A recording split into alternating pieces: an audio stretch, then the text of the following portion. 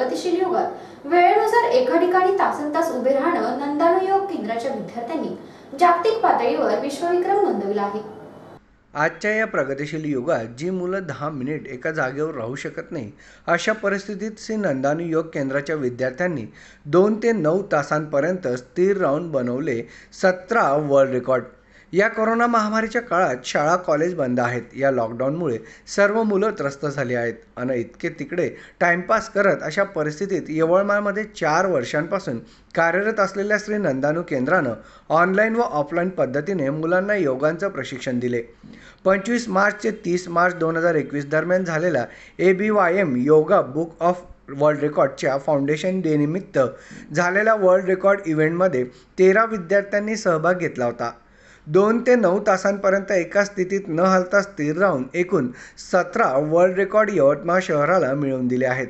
ही यवतमाळ शहरासाठी खूप आनंदाची बाब असून शहरवासियांना आपल्या शरीर स्वास्थ्य रक्षणासाठी किंवा शारीरिक मानसिक आध्यात्मिक आदी व सामाजिक विकासायोगासाठी योग योग विना मार्ग नाही.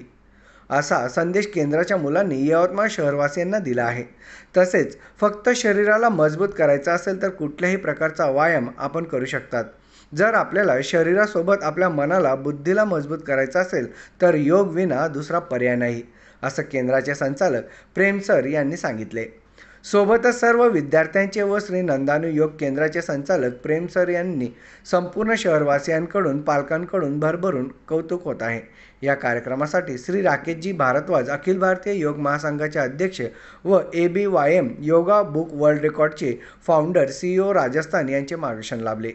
बऱ्याचशा अफवा समाजात आहे की या लोकांनी योग करू नये या वयोगटातनी योग करू नये. किंवा म्हाताऱ्या लोकांनी योग करू नये किंवा बऱ्याच गोष्टी अशा समाजात आधी होत्या की योग करणाऱ्या व्यक्तीने संन्यास घ्यावा जंगलात जाऊन योग करावं. पण चुकीच्या अफवांना तारून आम्ही काहीतरी समाजात एक असा अस्तित्व निर्माण करायचा प्रयत्न करतो आहे की प्रत्येक व्यक्तीने आपल्या दैनंदिन जीवनात योगाभ्यास करावा.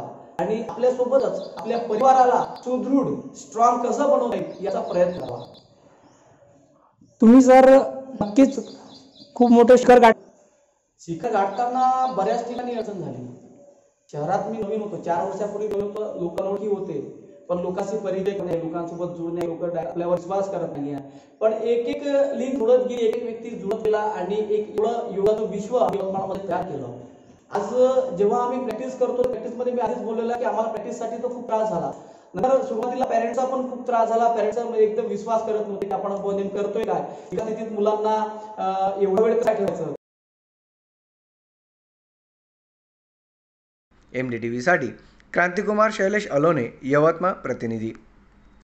एम डी टी व्ही न्यूजला सबस्क्राईब करा बेल आयकॉनला क्लिक करा शेअर लाईक कमेंट